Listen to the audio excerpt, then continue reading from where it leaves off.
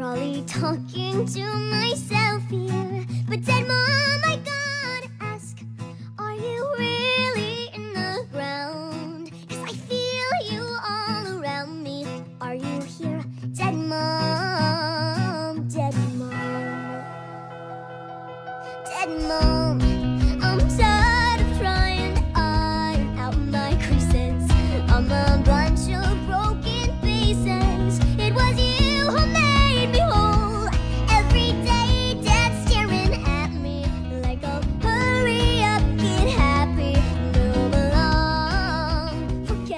about your mom.